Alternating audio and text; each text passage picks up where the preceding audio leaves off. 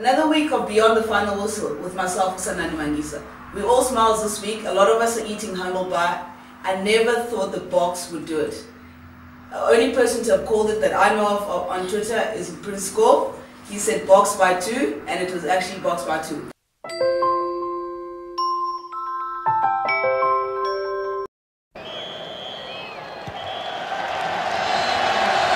Give me the whole humble pie, I will have all of it. I did not see the Springbok win coming at all.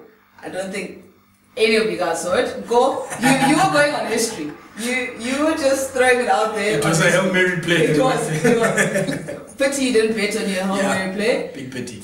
But guys, here we are. Uh, Springboks beat uh, New Zealand in Wellington by two. Yeah. Reaction time. Geez, I mean, as you say, I think three words that come is defense, defense, defense. And I mean, well done to the guys. Full credit to Siya and his team. I think they played really well. And I mean, it was a game where they really played for each other. So I'm super happy for them. And I'm sure, um, as everyone has been saying, there's a lot of confidence they can take from this game going into the future. Cesar, all, all the stats, besides the score, are against the, bo- the Boks. Every single one. Tackles, passes. Take, if you look at the stats, they should never have won that game. Yeah, um, on that last statement, the Boks had no right to win that game. Yeah. All the stats were heavily in favor of um, New Zealand, from tackles to territory to possession. Every single stat uh, out of that game was for New Zealand. And it, it, it just shows you, you know, uh, rugby is still an old-fashioned game, won won by the team with the, with, uh, you know, with the most passion on um, on the day. The ball bounced for South Africa, and, and, and we won by two points. I think that's what I tweeted after the game, was that the frustration from last weekend was that we know on any given day, not that they can, or you can turn the page and play a better game plan, just the, the effort and the passion that was this weekend versus the Australia game. Like I, I have a different take. Like like to, to what you're saying, the Boks were worth every penny of that win. You know, I, I, I don't care about the stats, how bad the stats were. I mean, if you look at that game, how it started, we were 12 0 down, and it was like England all over again. The team was in a comfortable place, and then they just started playing. And for 30 minutes of that match, the Boks outplayed the All Blacks. They scored more points than the All Blacks, and they put the All Blacks under pressure in a lot of phases. So, so the Boks were worth it. Obviously, the, the, the, the All Blacks are the home team. They had to come back, and that's the, the defensive effort. But I, I, I don't care if people say that Barrett missed a lot of things and Bratalik wasn't there. The Boks and everything that they got over the weekend because of the way they played, the passion that they showed, and they were better than the All Blacks on the day. For a, for a defensive unit that we've criticized, that period where Vili got the yellow card, which is still a questionable yellow card, but they did, we didn't concede any points during that period, and and I think that's kudos to you know a, a very good defensive units this weekend. I I think even throughout the game, the way they were defending was a whole lot better than they've defended most other games. So they've clearly did their homework around um, how to defend against the All Blacks. Because if you saw at, at ragtime, we didn't really commit a lot of people. We fanned out pretty well. And the guys, uh, what they did is that they rushed them well. And at certain times, we hit them offensively. I mean, there was a big hit that U- Lukhanyo Am had on uh, Brown. There was also another big one that I think Jesse Kriel had on um, um, Jordie Barrett. But it's that kind of um, offensive tackling that really breaks the team's rhythm, that makes them hard to actually do their thing. So the rush defense didn't really work for us, and I think again we were playing the, the call it the outside in defense. It didn't really it did work this weekend. I think the, the tries that they did score on the outside wasn't a matter of we ran out of tacklers on the outside based on the inside um, outside in kind of defense, but more of a sense of through the recycling of the ball, they've actually created enough space out wide to score those tries. Cesar, I don't know if you've got a direct line to Rassie, but your changes last week were pretty close to what he had. Yeah. You know, um, it's about going back to basics, you know. Uh, Utuma just said something now that, that actually jogged my memory. Um, against England, we, we were behind, you know. The guys dug deep and they went back to, to their traditional strengths Yeah. and they came back and won that game, right? Um, same same thing against England. Uh, sorry, uh, uh, against New Zealand. You know, this is a team to me that's that's that's showing me a bit of themselves week in week out. That that they're they're a bit temperamental, but when the chips are against them and they, there is an occasion to play for, that that that they can come to the fore. You know, um, this this was a big occasion. This this for this team was was uh, prom night, if, if I can put it that way. Um, and they and they came to the fore. They they they pushed up on defense. They pitched up at the right time. Uh, they you know everything about this this this this game showed their their attitude. You know, and and and I was really really pleased. Dumaputwa, Ba- Barrett is still holding his neck from last last seen holding his neck from the Rapiwe sidestep. Aphiwe Dyantyi, I've said it on this show, is, is a weapon of mass destruction. He's a beast. I mean, uh, what he did, he, did, he had no right to score the try, but his talent and his skill shone through. Uh, Barrett was probably expecting to push him out, but Aphiwe went inside, outside in a flash. Yeah, I think it was like that cartoon character, the Flash.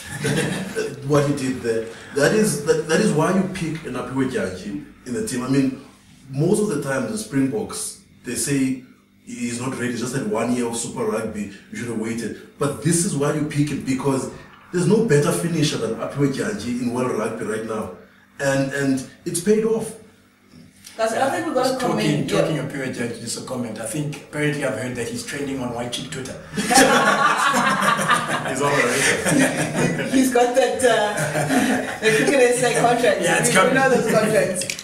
Gents, I I think Siya's leadership as well must be commended. Um, we we spoke about it last week in terms of who the real leader on the team is. I think he had a good game. He played well, and the guys just fed off that as well. Yeah, agree with you. And I I heard a comment uh, just put over the weekend, as in when they're motivating each other, what was really part of the big mantra.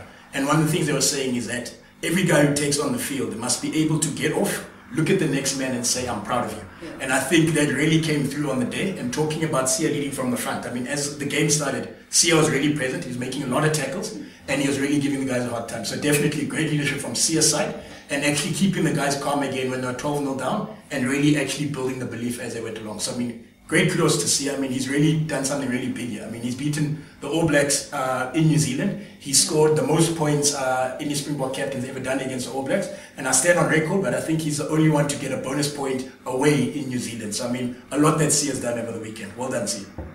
Hey guys, we're gonna have to bring it back because as much as it was a good performance, we know what can happen in Loftus, and we still got PE.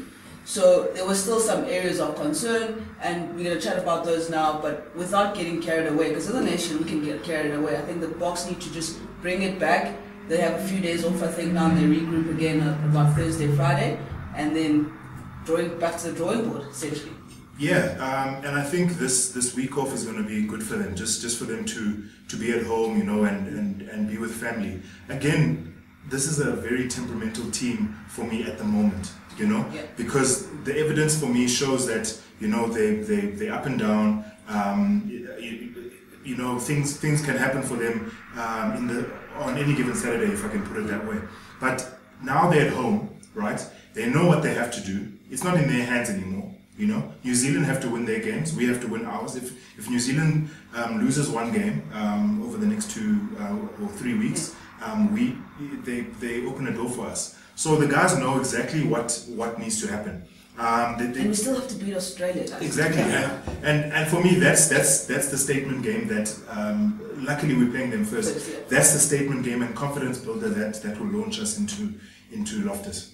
The thing is, guys, uh, what we've seen in the last couple of months with the Boks, they've been a Jekyll and Hyde team, and and the Jekyll is we saw over the last couple of the, the, the last game, and then the last game, three games against New Zealand, sorry, against Australia and Argentina, we saw the bad parts, and and this weekend's game, the good overshadowed the bad. I mean, the bad was still there. Mm.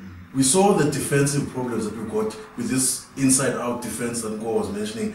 I think something has to give with the way we defend as as, as, a, as a test team because that this is what's causing. I mean, just imagine going to New Zealand and scoring five tries and scoring 36 points, but still concede another six tries and still win a game. Yeah. And, and, and that, that's the stat line I looked at. It's like, who scores five tries against the All Blacks in New Zealand? And still, you, I mean, we got outscored six to five tries, but we still won. We still defended enough to win the game. Yeah. But but tha- that's that's another thing. If, if you don't you don't score five tries and lose a game like that. That's another thing. We have to defend better, even against and, and, and we have to play well with the lead. Because it looks like the Springboks cannot play with the lead. We have to come from behind and beat teams. We don't start well. So, so the, the game management within the team, we need to manage games properly. To know what to do when we've got a lead, uh, territory, and all of those things. That's still the, the, the bad with with the Boks. Guys, is there any merit in this uh, Elton and Pollard combination that people saw in the last, call it 10, 15 minutes over the weekend? Yeah, look, I must say I've, I've been pretty anti the, the uh, Pollard and uh, Elton Jantjies combo, based on the fact that I mean I thought we do have enough firepower at um, on the 12th position. I mean my preferred 12 is still Jan Serfontein, so I mean he's still uh, recovering from injury. But in the interim, I think in the little touches that I saw, I think Elton and Andre really uh, combined really well. And I think the, the X factor that, that Elton did really bring. I mean, it was it was a game where he actually really stood up in attack and also he stood up in defense. So to me, he's he, this was probably the best game he's had over the past uh, couple of games he's played for the Boks. I mean, it's great for them, and probably what it does do for Rassie is give him selection headaches in terms of what he'll do going forward. Because I don't think people will be close to the idea of having Elton and and, and uh, Andre playing off each other. Yeah, I mean, for me it was very interesting. You know, um, in you know in the past few weeks, they, you've been getting a feeling that that they've been trying to outdo each other. Every time one comes on, he's trying to outdo the other, and he's trying to do too much, and then mistakes happen. You know, um, Andre, I've never seen Andre kick kick this poorly um, in his career ever. But for me, on when when Elton came on and Andre was at 12, it was for the first time where I, I saw the anxiety sort of dis, um, dissolve, and the guys displayed their game. You know, Elton was attacking the line. He gave a pass to to to uh, Franz Francois. Jeez, what mean, I, I haven't seen Elton do that in a um, in a in a green and gold jersey. You know. But this time, I saw him do it in New Zealand under pressure. You know, defense was in his face, and he and he and he executed. So, so for me, it's very exciting to see um, a, a, a budgeting com- uh, combination like that, um, and and maybe you never know, we, we could see it next year in uh, Japan. He looked like Lions Elton. Yes. The ones that we see, the, the Elton Jantjies we see week in, week out for the Lions, was confident to go in, to run straight and create the pass. I mean, uh, look, uh, it was unfortunate how he entered the game because uh, De Allende uh, got injured. And he came on and uh, Handré Pollard had to move to the 12. And, and Handré Pollard tackled very well as well when he came on. Because I think what happened during that game is that everybody, the, the longer the game got on, everybody got more motivated. And, and because of how we sort of changed the game. And, and whatever happens now will be beneficial for the Boks because we we are in the same group with the All Blacks in the World Cup. So I mean, All Blacks are gonna go. Yeah, they'll go in knowing that we can beat them. Hopefully, we won't have to wait another 10 years to beat them in New Zealand. It's, uh, yeah. not getting carried away. Yeah. But they've got we've got a week to rest. Um, the guys have, go, as I say, go back to the draw board, work out combinations over the week, and then Australia and, and PE. They need a win. They got beaten by Argentina. They'll probably be com- coming out guns blazing. Yeah, I mean, they'll definitely come out guns blazing, but I mean, as we said last week, on paper, that Australian team is not up to the standard of the South African team on paper. So we should actually be able to beat them um, in Port Elizabeth. I mean, the ideal situation is to beat them with a bonus point, and I think we do have the ability to do that. I mean, we had the ability to beat them in in Australia. We didn't. We played really uh, below ourselves, so we didn't play well. And I mean, I'm sure again coming off this week, but even what we've seen the guys do in the England series, we go into that game against Australia as favourites to take them. So I mean, I think we should be able to get at least a four points there, ideally five. Ah, but Chikitra, you putting it nicely. We should be smashing Australia. That, that team is, I said it last week, it's the worst Australian team I've seen in 15 years. There was a bunch of, who, who, who scares you? It's only Beale that scares me, that team. We should be putting 50 points on Australian PE. End of story. I mean, we can't be going and say, uh, uh, we should be. The Springboks, with the kind of firepower that we have, within our forwards and backs, we should put 50 points on Australia and make sure they don't score anything because that's how bad that team is. It's an awful team. We can't be saying, uh, hopefully, we bonus points try. No, we double bonus point on that No, that that game in Port Elizabeth for the Springboks is a statement game. You know, Yeah. it's a statement game to launch them into Loftus. Um, because I have a feeling that that game in Loftus is going to be even more intense than than um, the game we just saw this weekend. Definitely.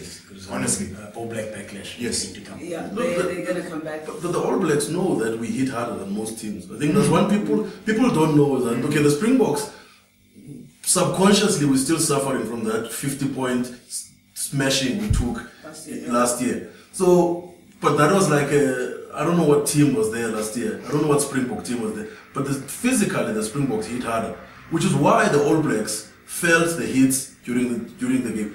And in Loftus, we're gonna get a backlash, but I think we've still got a good enough chance to win if we keep our heads and we play and we manage the game correctly. So also I don't think we should have a problem in the last two weeks. Yeah. Right, guys, as you heard from the gents, two more weeks of the Rugby Championship, all to play for by the Springboks. Follow us at Grit Sports, join in the conversation, and hashtag Beyond the Final Whistle.